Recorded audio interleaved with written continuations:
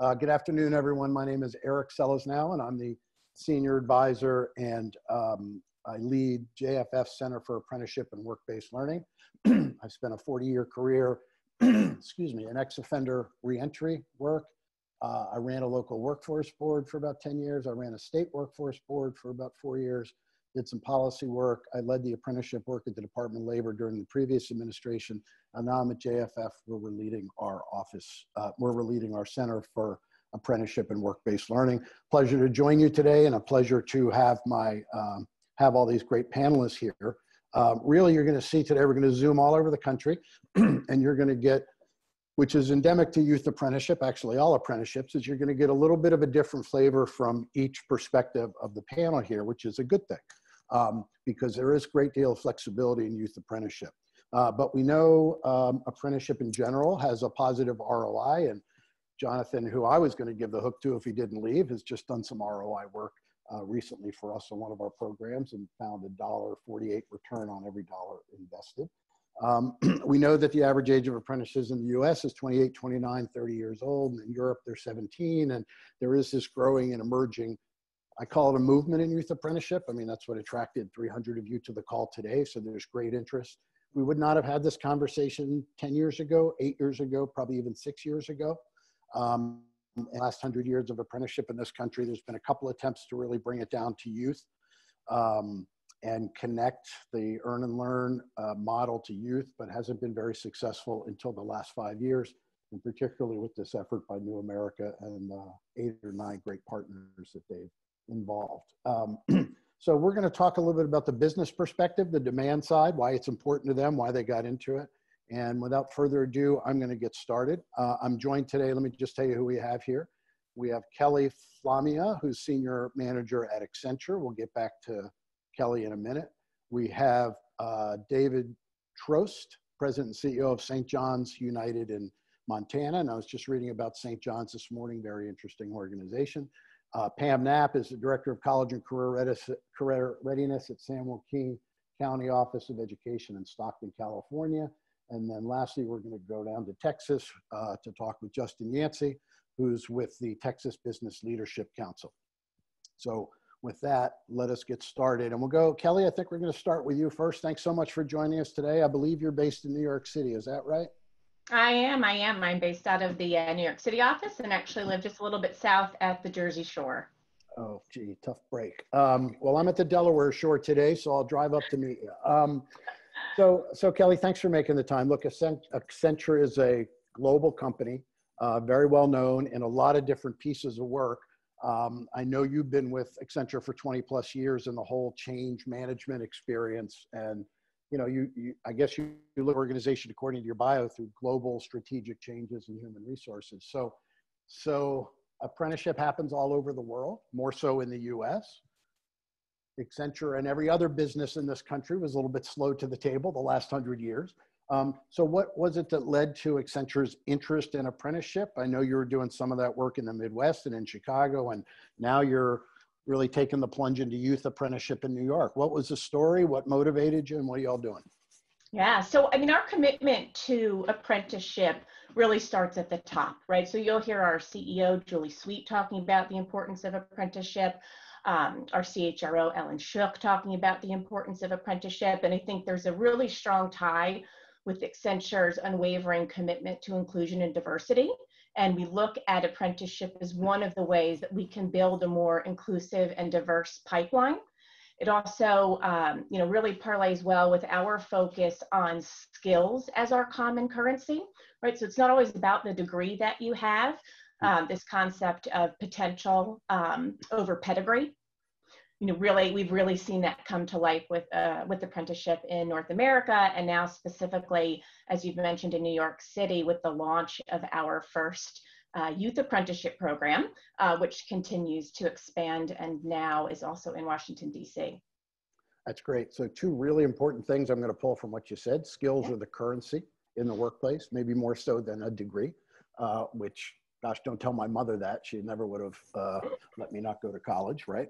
Um, and the other is leadership matters, right? Your CEO, Julie, is out there, has been doing it for a year or two, did a great op ed in the Post with with Greg from Aon about a year ago. Really outstanding to see big leaders uh, in the corporate world do that.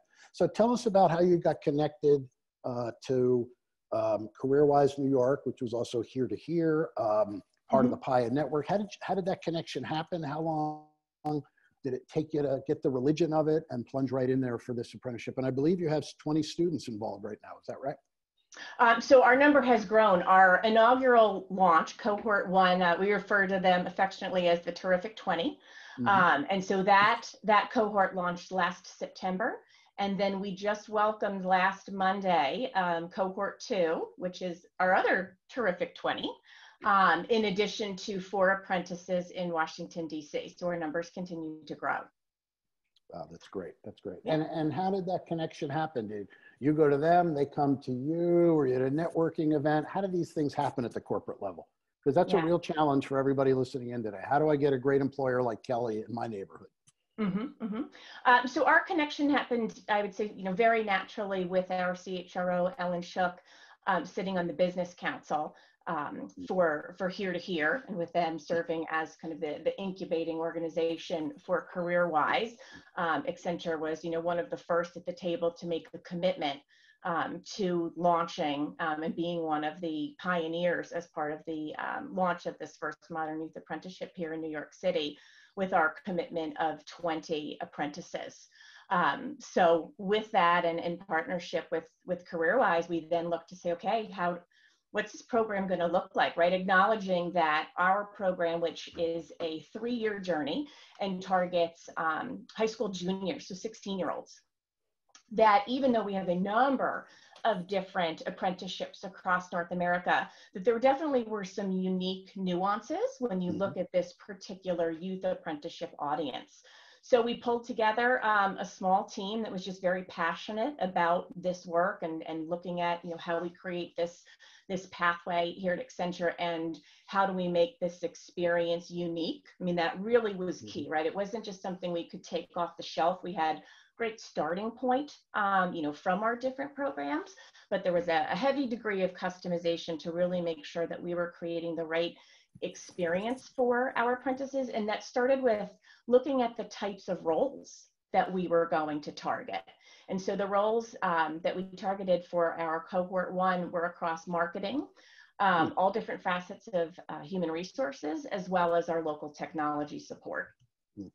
Wow, very interesting. So that's great. So you're using, it sounds like you're using the CareerWise model and CareerWise Colorado works with multiple sites across the country trying, trying to spread the, the love of their model, which mm-hmm. works very well and spread it to New York and organized all these partners. So just real quickly before we have to leave you, uh, yeah. and we'll come back, of course, but could you talk a little bit about the program structure uh, when they're juniors and seniors? How many hours a week are they working? What are they getting paid? What credentials do they get along the way? And what happens after they get out of high school. Yes, absolutely. So again, three-year journey. So they're coming to us uh, high school juniors, and they work 16 hours per week, mm-hmm. and that's in compliance with local labor laws. Mm-hmm. Um, and the way that that pans out during the week is Monday through Thursday. Um, cohort one, and this I'm going to kind of quote pre-COVID. Um, cohort one was working 1 to 5 p.m. Monday through mm. Thursday. So they would go to school in the morning they would have what I refer to as an adult commute in, as most of our students are um, coming from New York City public schools in either the Bronx um, or Brooklyn. So about an hour-ish commute into the office, work from one to five, then head back home. Um, this is an earn uh, while you learn model. Mm-hmm. So they, they, you know, they are um, earning a, a marketed competitive wage. And as employees, they are also entitled to benefits. So they have the option to opt in for medical, for dental, for 401k, which surprisingly, we have a few of our apprentices, right, who are very uh, keen on finance that have opted in for their 401k, as well as, you know, having the ability to participate in our employee stock purchase plan. That's great. And just before yeah. I leave you, there was one other thing. Well, there's two things. Yeah, you know, you, you spoke about Accenture's interest in diversity, equity, and inclusion right? And, and companies get in this for various reasons, right? Some are concerned about their skills level, about their next generation of workers. Some are saying we need to, to diversify more. Was it all of those things? What really drove you to the table? What was the pressing need that drove you to the table as an employer? Yeah, so I would say um, for Accenture, I would clarify and say it's not an interest in inclusion and diversity, that it is a, is a true commitment. And so again, you know, bringing in um, and ensuring that we have a diversity, you know, of thought and diversity across all of the different dimensions is really what we believe fuels innovation. And we are a company known for innovation, and so we need to have, you know, a diverse group represented um, at the table in terms of, you know, what our clients need, what we need, right. and so that's, you know, that's definitely a, a key driver. Yeah, and that's a really important point. Um, for companies that are committed and that a lot of companies are, but they're trying to solve several problems, whether it's or challenges, reflect the communities they serve in or find a pipeline of workers for tomorrow or you know build our own workforce so that's great one last question i promise this is really it no has problem. covid has covid slowed you down it has not slowed us down. Um, it definitely has required us to pivot. Um, so in March, you know, as, as, as, everyone knows, but certainly in New York City being hit, you know, quite hard with COVID, um, we our, our, program was impacted, and so we were what we were calling on a pause, right? So the the DOE um, had um, as schools, New York City schools shut down, and as they started to bring the students back, um, internships and apprenticeships were, were actually on pause for quite some time, so about mm-hmm. the mid-March timeframe, and then they weren't reinstated um, until early May. So during that time, um, you know, our program was still moving, I would say, full steam ahead from a from a core team perspective. So from the individuals that support all of our apprentices to make sure that we could, you know, one continue to support the apprentices, um, you know, checking in with them, right, their emotional um, uh, kind of status and, and how they were doing, right? So really leading from the front with compassion. That was our really the, the top of the priority. But then it was taking a look at how is this program now going to look in a in a COVID world where we aren't going to see them in the office? None of us are in the office right. every day anymore. Um, so so what does that look like? And that mm. was everything from how do we you know get their PCs shipped out to them so that they are technologically enabled, ensuring that everyone can connect um, and perform their jobs in a digital way. It was looking at our curriculum with a slightly different lens. Um, so we are very focused on, you know, building competencies and in these early months, very focused on building what we were calling power skills. So those skills that everybody needs, those foundational skills to be mm-hmm. successful. Mm-hmm. Well, now that took on a slightly different lens as you start to focus on trying to enable these students who are now juggling school in a virtual environment plus work in 100% in virtual environment. You know, what does it look like to now focus on pulling in um, digital working into the curriculum, uh, a focus on uh, mental health and resiliency. So do we slow, I, I, so that's why I say I don't think we slow down because we really used that time when the programs themselves were on pause to mm-hmm. check in and make sure that our apprentices were okay and had what they needed. And then to make sure that as soon as the DOE gave us the green light, um, and that the programs could be reinstated, that we were ready to hit the ground running um, in a slightly different way, but still effective to um, really bring to life their experience, which was initially so immersive and now had flipped to digital. I say overnight, but we had a few weeks there to replan. Well, that, that's an interesting pivot, and I'm sure you had to work very closely with your partners to do that. It sounds like you've successfully adopted and pivoted to both your advantage and the advantage of the students. Um, all right, Kelly Flammia from Accenture, stand by. We're going to go down the list a little bit, maybe get you back for some questions. Uh, David Trost is the president and CEO of St. John's United in the great state of Montana. And I've read up a little bit on St. John's United as a, a really high quality human service agency that has a pretty wide uh, connection there um, uh, across uh, Montana. So uh, David, welcome very much. Tell us a little bit about what you're doing on apprenticeship. Well, tell us a little bit more about, um, about uh, St. John's United and what you how you got into apprenticeship. Yeah, uh, thanks, Eric. Um, St. John's United is a human service organization providing services throughout the arc of life from birth to death. Uh, we provide adoption services, birth parent counseling, mental health, um, child care, and then provide housing and services for, for youth. Um, a big part of our workforce is nurses and certified nursing assistants. And I think everyone's well aware that those are two really um, um, uh, workforce shortage areas, uh, CNAs and mm-hmm. uh, nursing. And it is our issue at St. John's as well. At any one time, we'll have like 60 positions open out of a workforce of 700. Um, we're a nonprofit organization as well, owned by uh, local Lutheran churches here in um, Montana. And so um, you know, resources aren't a plethora. Um, I, you know, I, I, know that my friend Kelly over at Accenture, they got they've got some deep pockets and can make things happen maybe like this a little bit better.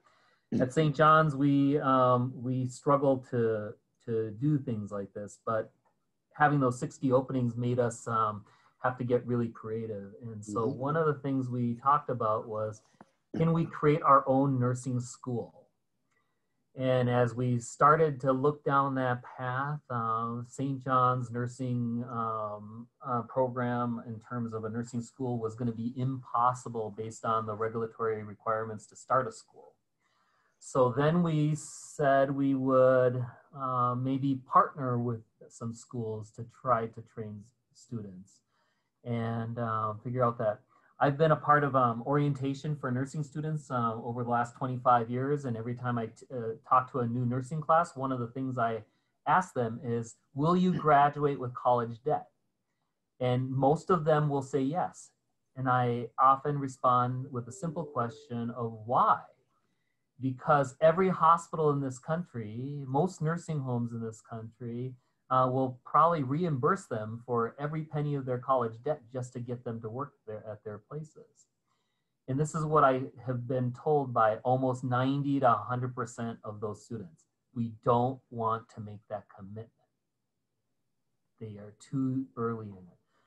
So the way we modeled our apprenticeship program or our program, uh, what we called originally a nursing fellowship program, is that we were going to recruit juniors and high school students, junior and seniors in high school, to engage in our nursing fellowship program, which was going to be a, a, work in in pre terminal degree positions like being a aide or being a certified nursing assistant or then being an LPN and then being a registered nurse, so some kind of a progressive model. And while you were doing that, we would pay for your education. And when you graduated, here was the magic bullet and what we thought would be successful. They didn't have to continue to work for us. They did all their service pre-degree, not post-degree. Mm-hmm. And so that was the, the model that we were looking to do. And so as we were working with the local high school, as we were working with the local colleges, as uh, we were working with our local workforce development group, um, the folks at the Montana Youth Apprenticeship Program had heard what we were doing and asked us to take a leadership role in becoming the first registered nursing apprenticeship program in the Northwest. And so, um, so our program now fully registered as a nursing apprenticeship program. It's hard to do nursing apprenticeships just because um, of the the well we like the skills-based learning, the, we talked about the terminal degree, Kelly talked about, you know, over-educated, uh, under-skilled. I mean, in this case, to get a nursing degree, you have to go to college. And so it's not something, so in college isn't necessarily the equal ter um, term with apprentice. And so it had to include the apprenticeship concept, but also require them to go and get a formal education. And there is no shortcuts, unfortunately, around nursing education, you have to do 100% of that programming regardless. So, so, so, why didn't you, I'm sorry, sorry for stepping in, but um, so what made you decide to lean towards youth instead of saying, you know what, we're going to work with MnSCU and our community colleges and we'll get nurses right out of there. You chose very specifically to lean in towards youth. So yeah. why was that? It was really all about um, programming, getting um, one was competitive, trying to get a, a to, to get um, students to think about our place of business early, uh, get them uh, tied in, show them that we care, fund their education, prove that we're funding their education, and then also proving that, hey, when you're done, you have no more ties to us and go become a pediatric nurse or become a ICU nurse or whatever but their nursing program they do at St. John's will be mostly centered around geriatrics.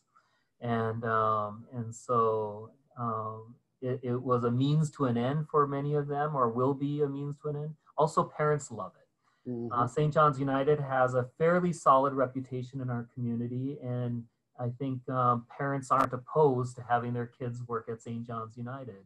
Mhm. And if they're going to be nurses, the only way to get into nursing school these days is to do CNA work before you apply because it's almost a prerequisite now to Mhm. become a certified nursing assistant before you can become get into nursing school. It's so competitive to get into those spots. And How so many schools, uh, how many high schools are you connected with now where you recruit students? Uh, we're connected with any high school student that will um, that will commute or live in Billings to do this program. So we have about five, six high schools in our in the kind of the, the general metropolitan area. Uh, we work with one joint school that is sponsored by all the three high schools in, in Billings. They Mhm. all have a career center or a, you know uh, um, um, a you guys know this stuff better than I do. The um, uh, career and educational techni- technical uh, Career and technical education program. And so they share in the infrastructure of a fourth high school that does just that. And that's where we get most of our students from. All right. And then we offer it also to teach. We're also the faculty member at that high school teaching CNA classes in the school setting. Mhm. Okay, so it's very, very integrated Yeah. system. So Accenture, Kelly and Accenture um, chose just to do a, a non-registered, a high-quality non-registered program and um, have a model with the partners that they have. You chose to do registered. Um, you probably didn't even know what a registered apprenticeship was until uh, Minnesota, until Montana reached out to you. But Nope. tell us how that came about and what support did you get from the state of Montana people? Yeah, when they reached out, uh, one, it gave us credibility. Oh, first of all, if we're going to try to say we have a nursing program by being a registered apprenticeship program in nursing, that gave us some credibility, and that was helpful. Two is, I mean, nonprofit. We hear the word money and grants and support. We're we're all over it, and so um, becoming registered and working with the state of Montana it gave us a new uh, window of access to grants and to support for things like that. Uh, this program has become um, pretty, pretty, um, uh, pretty easy to raise money for. Mhm. And so we have uh, found a donor who had um, basically funded a significant portion of this program to endow it. So we have enough money in the endowment to hire a, a registered nurse mentor or an advisor that the colleges don't have to replicate. And they're on site and they are counseling and coaching and helping our apprenticeships work and learn in this environment Mhm. and that's a Mhm. full-time paid position and if it wasn't for this um, endowment we would not be able to afford that Right. and right. um, that's a significant part of the success Right, and that's that support all the way around on so many different issues. I'm sure that they deal with there. Um, so has uh, well, two quick questions. One is um, for the on-the-job learning part. Are they working in your facilities um, Yeah. when they practice? Are they going to other hospitals and facilities to do no, that? they have to work in our facility unless it's part of a clinical portion uh, that they need like uh, er rotation or a, a pediatric rotation then they'll go and do those things those won't be paid experiences but those are part of the general academic portion but their hours that they work here when they're a cna they get paid like a cna as well as they get uh, tuition reimbursement credits. So if they work just part-time here and work consistently there'll be enough tuition reimbursement credits to pay for their entire tuition. Mhm. and then um, and then um, those credits any unused credits can be used to advance their degree to the next level as long as they continue to work for us. At any time they have a terminal uh, a degree that they're done achieving like if they just want to become an lpn they can stop in the apprenticeship program apply for a regular full-time position here or go somewhere else but if they want to continue, they get to still stay in the program. They get to have the reduced hour requirement and they can go on to their next level of nursing. we will do this all the way through a, a master's degree if they want. That, uh, uh, and we see examples like that all over the country where uh, they will complete an apprenticeship. The employer will gladly advance them uh, tuition reimbursements to go toward their bachelor's degree or whatever. Um, so that is an interesting model that you say, look, you graduate, go wherever you want, you know, we, and, and, you know, we know that job retention is at 94% with most apprentices. So I would imagine many of them out of their investment in you and your investment with them will hopefully stay with you. If we're successful, we will train more nurses than we need. And so Mhm. many of them will have to go elsewhere. Okay, Um, which is good for the industry and good for the state. Yeah, and good for our CNA positions that are, so if they all serve as CNAs while they're going to school, it's filling our CNA positions, which are even harder to find for us. That's great. Tough experience to get. Last question quickly. Um, COVID, did COVID slow you down? How have you coped or adapted with that? Yeah, COVID has not um, slowed us down. It might have slowed students down. It might have slowed some other things, but the but for me, we've had a our philosophy here has been that um, there is no better time to learn about healthcare than right now during the pandemic. And so most of the healthcare centers across the country, most of them here in Billings have said, hey, let's slow down students. I mean, we don't want to be responsible for them during this pandemic. I've taken the complete opposite track that if nursing folks who are in health, any level of healthcare education are not in healthcare right now, they are missing an incredible experience. Uh, one of good examples we have um, in- we have an inter- internship, um, a 12 month um, residency program or internship program for administrators, and all the administrative internships across the country had pretty much to zero.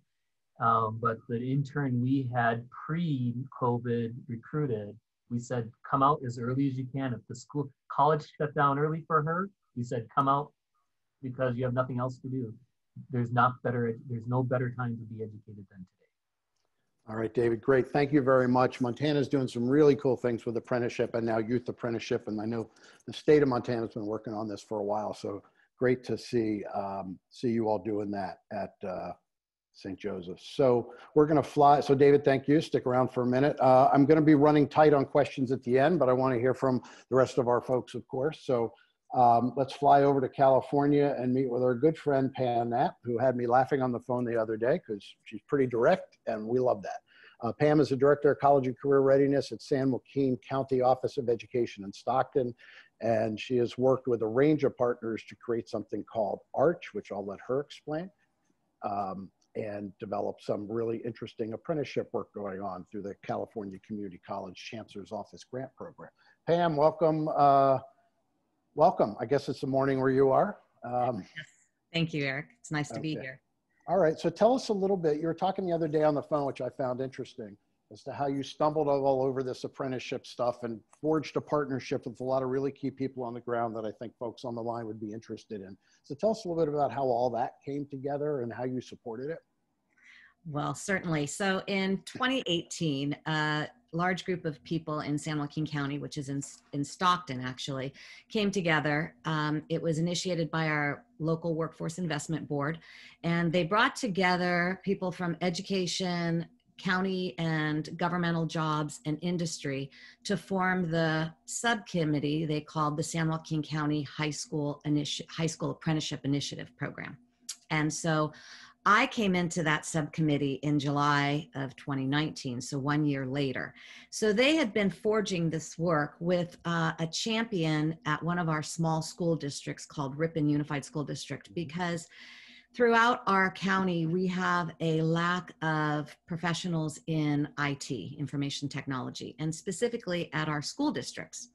And as you know, all of the districts across the nation are rolling out a one to one device for all of our students, and that's especially relevant now through COVID. And so we had been rolling out one to one devices in California, and they were being in need of service. And so the small school districts couldn't keep up with the demand. And so one of our district superintendents said at this apprenticeship, high school apprenticeship subcommittee meeting, we need to grow our own we need to get a high school apprenticeship program started in IT so that we can train our own students to work within our school district IT program and help with the needs that are out there. And so that had been going on for a year, and I entered the committee in 2019 in my new position at San Joaquin County Office of Ed after spending the past 25 years working as a high school counselor doing career tech ed and college and career readiness. And I worked at a private college in career placement. So I have a background in CTE, and my passion is working with students and seeing them progress through their goals after high school. And so apprenticeship is the perfect marriage of career tech ed. And it's the ultimate cherry on that sundae because here these students are earning and learning and working all the way through to get that ultimate career. And so when I joined the committee, it was um, serendipitous that at the same time, the California Community College Chancellor's Office had released an RFA for what's known as the California Apprenticeship Initiative Grant. And so I was charged with the task to lead the grant writing on that with several partners. And so we wrote this grant and submitted it in the end of September. And we learned that we were funded for $500,000 through the chancellor's office. But the caveat to that is it's a three year grant program, and we mm-hmm. need to. We agreed to register 25 high school students with the Division of Apprenticeship Standards in those three years. Mm-hmm. So that was daunting for me coming into this new program. Sure. really uh, not sure how to make that happen. So here we are a year later and we are moving forward. So you found young people and students in school to work um, to work in the IT division to help repair the equipment because your growth in equipment due to COVID and everything else, technology is taking over, right? So, um, but you did, had some interesting partnerships along the way. You got together, uh, what you know, with your workforce board and um, what another college, and then you had to uh, work with representatives from Division of Apprenticeship Standards, I guess. So, talk a little bit about your partners and what role the workforce board is playing.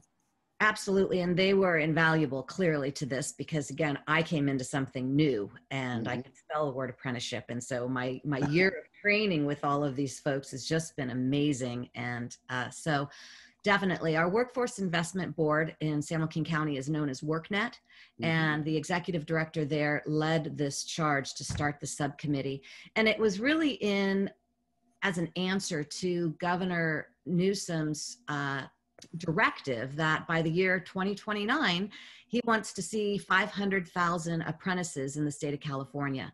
And so this uh, high school apprenticeship subcommittee thought well why not tap into the youth and let's bring them on and let's register them.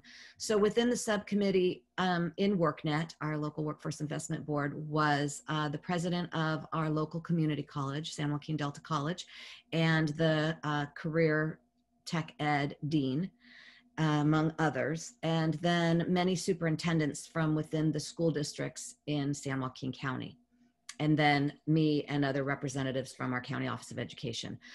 So along all of us together put together this grant, and uh, we were connected to PAYA, and PAYA agreed to support us with a letter of support, which was greatly appreciated. Mhm. And we connected with the Division of Apprenticeship Standards, and um, our particular representative, I'm like I'm on a phone call a day with this person trying to make sure we cover everything we need. And so yes, it is a is a definite collaborative.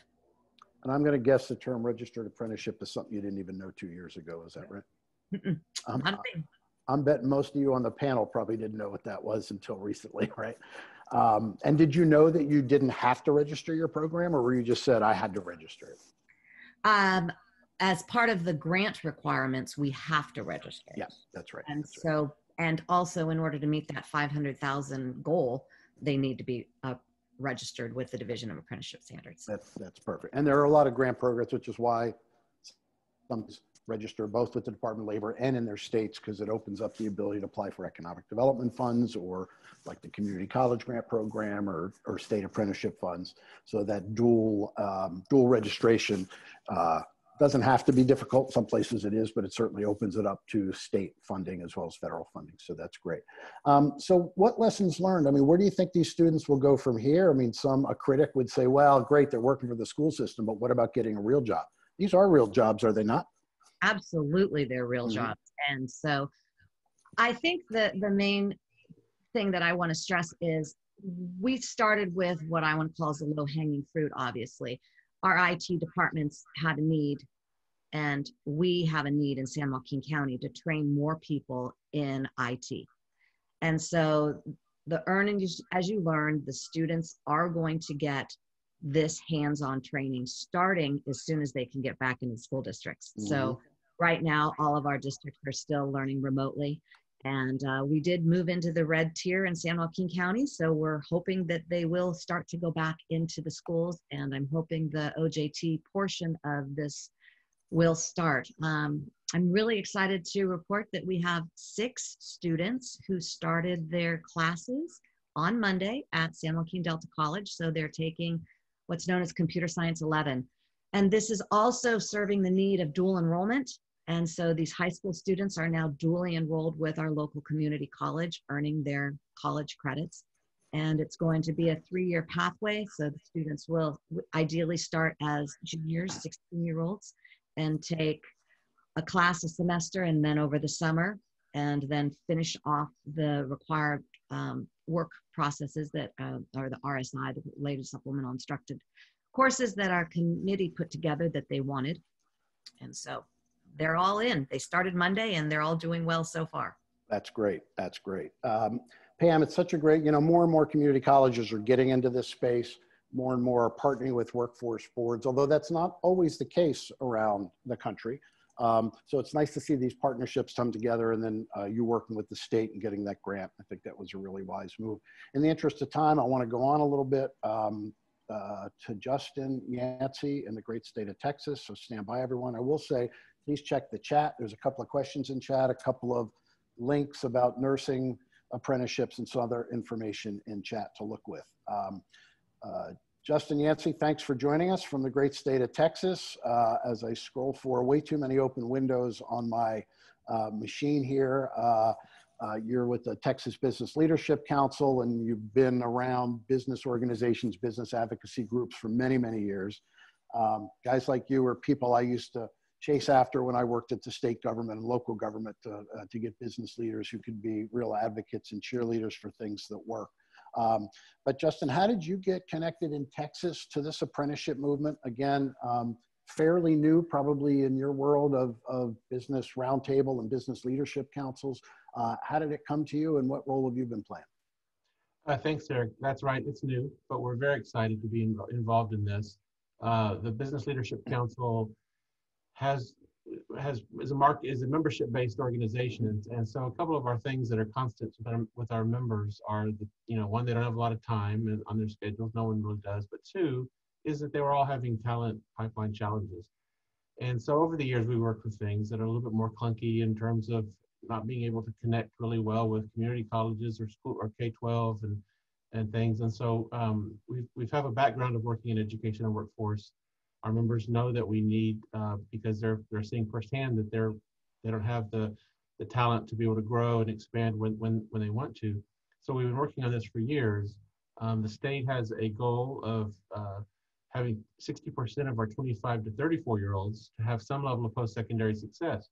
And uh, right now in Texas, um, we're at about 44% of, the, of, of that with 10 years to go to, to reach a goal that really has now even increased around the country from 60 to 65, 70%. And, and we're showing that 71% of jobs in Texas by 2036 will require some level of post-secondary success. And currently about a third of our Texas high school students, six years after high school graduation, have, have some level of success. So all of that together has made our member, has brought our members together and realizing this is something that uh, we really have to work on education workforce. So when, when Educate Texas is brought to us, uh, Educate Texas is a, a great collaboration partnership mm-hmm. uh, based in uh, both Dallas and in Austin, brought this idea to us over, just a little over a year ago, I guess.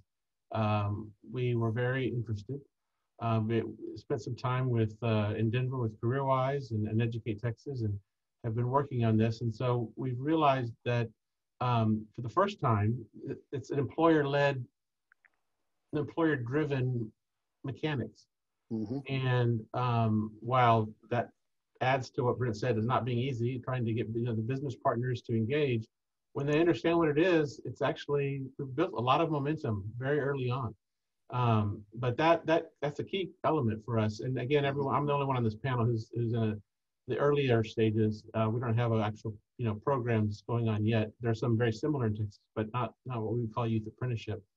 And so uh, having having that ability for a business to say, uh, this is what we need. We can bring in a you know a, a, junior and senior in high school, be able to teach them, work with them directly is is just going to be um, uh, very helpful, and they get that. Um, some of the again, some of the older models were, do you need help with your workforce? Yes. Well, what curriculum do you need, and what curriculum do you need in ten years? And right. you know, and it's really hard for our leaders and our CEOs and senior executives to be able to do that uh, with everything that's going on. So this is a real time work partnership with the school and community college, and, and we're very interested. And again, um, want to thank you know PAYA, New America, uh, of course, Educate Texas, JFF, and, and, we have a company in Texas, Texas Mutual, that's supporting this work and an early champion of this work. So we're very happy to Texas Mutual Insurance, and we're very happy to have them.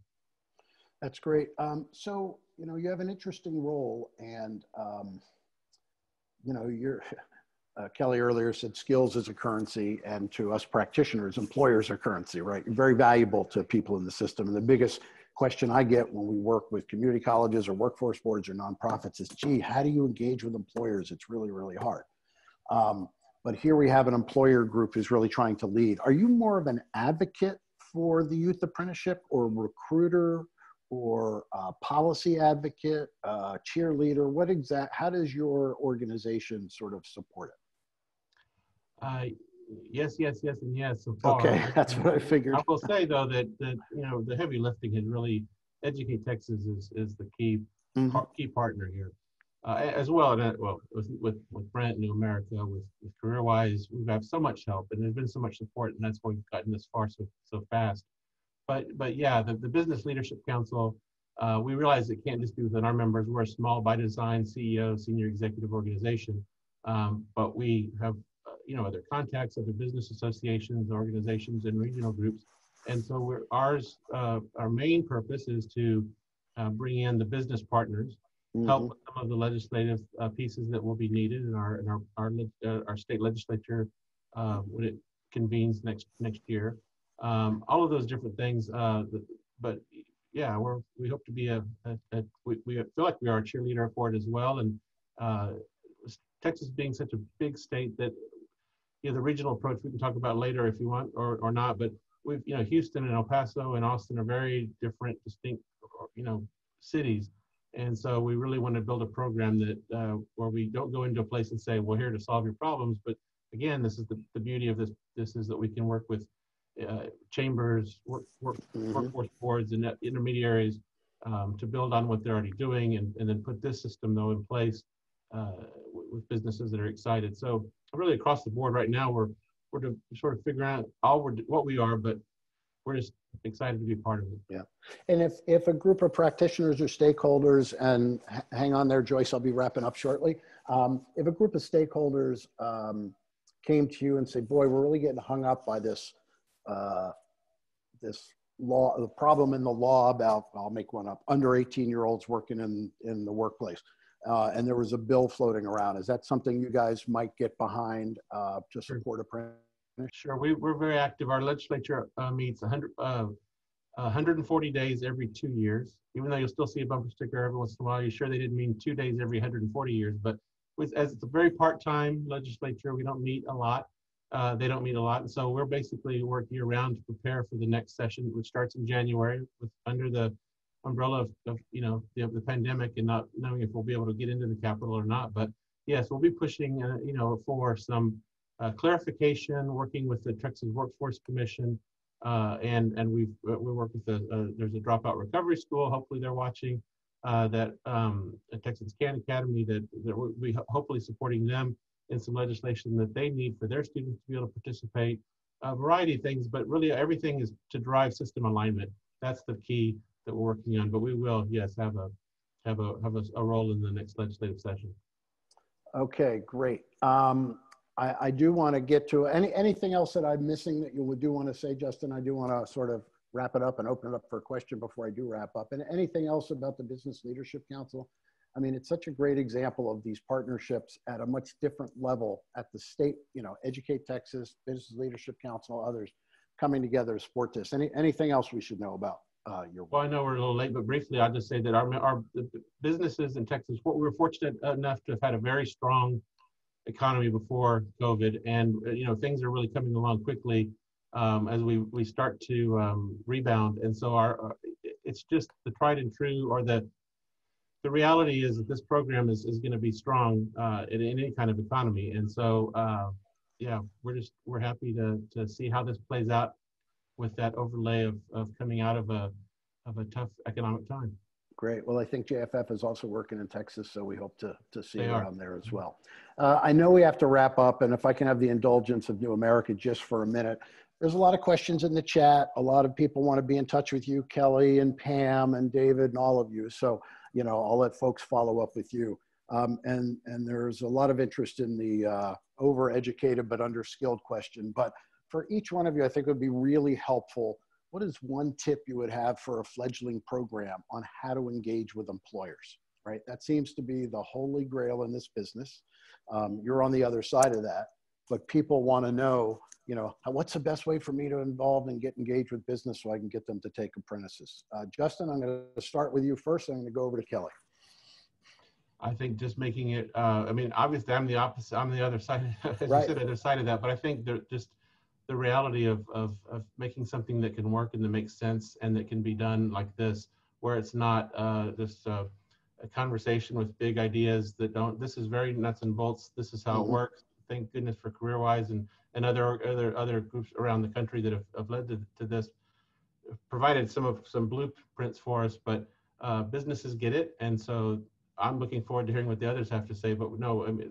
I think the fact that it's just very defined, definitive, yet yet Mhm. customizable. That if Right. it wasn't customizable, we wouldn't have any uh, Right. near as much interest. So so be clear nuts and bolts it's practical project communicate that kelly what advice do you have for practition, practitioners and stakeholders Yeah, absolutely. So I, I mean, I echo Justin's comments around the flexibility piece. I mean, we've, as an example, right, with our different roles with marketing, with human resources, we now have folks working in our innovation hub. I think it's really important as you engage employers to give them that flexibility as they start to think about the different ways in which mm-hmm. a youth apprenticeship might be able to come to life within their own company.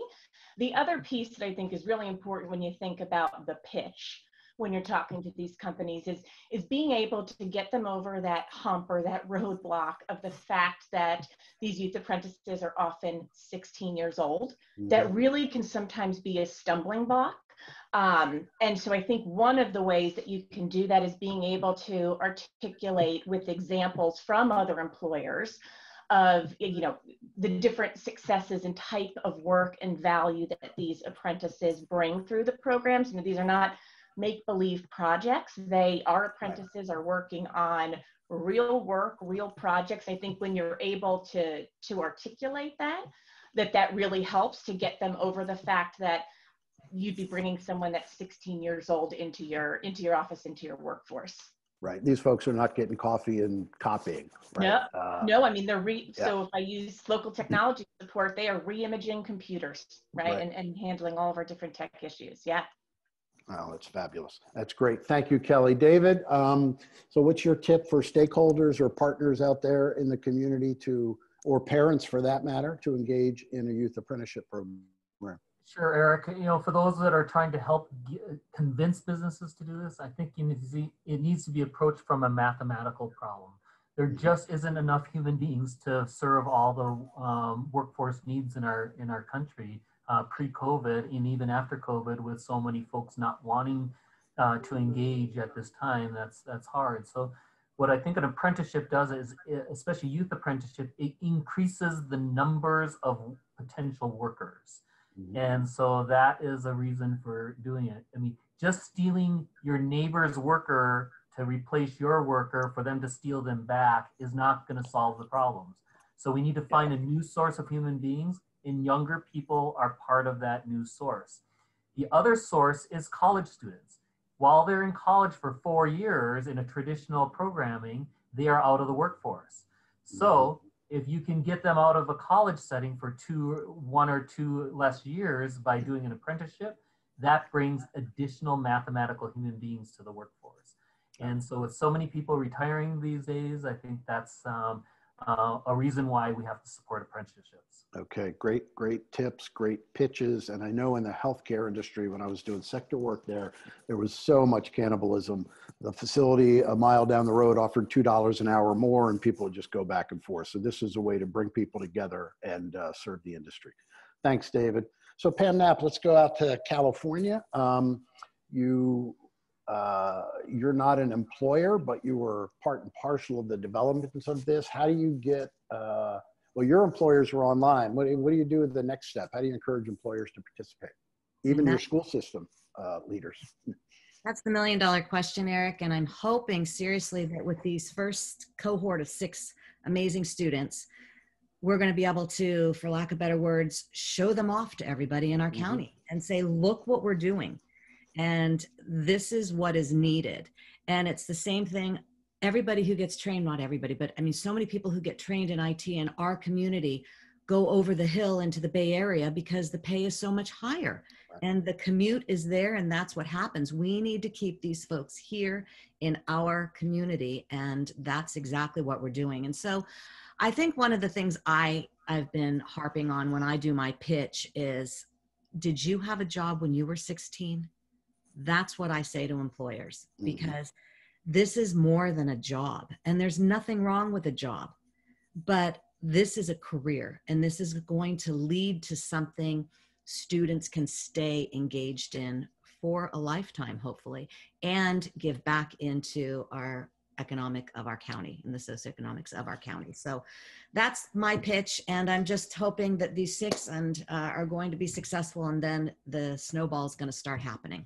You're all just beginning. I see great things in the future for all of you. Um, Kelly, Flammia, and Accenture, with Accenture, thanks so much for participating. Uh, I'm in DC, so maybe I'll pay a visit to your DC program one of these times. Uh, David at St. John's in Montana, really interesting healthcare model, um, something for you folks to take a look at. Pam, really good example of kind of public partnerships and public and private and workforce and community college partnerships and schools. So really interesting. And then Justin, you can't do this work without leadership councils such as you represent. Really key. So thrilled to see that you guys are involved in it. Uh, and you know, across the country, you'll see chambers slowly getting involved in other business organizations and trade associations. Very important part of it. So whether it's registered or unregistered, younger youth or older youth, uh, here are some four examples of some pretty interesting youth apprenticeship programs. And I know I'm way over, uh, so I'm going to turn it back to my friends at New America panel. Thank you so much for your time today. Really appreciate it.